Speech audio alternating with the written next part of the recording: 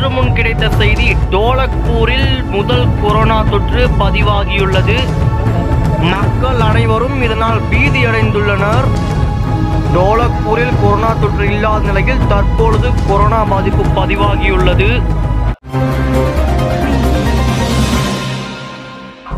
அந்த ஒரு கொரோனா தொற்று பாதிக்கப்பட்டவர் சோட்டா பீம் என்ற செய்தியும் நமக்கு கிடைத்துள்ளது.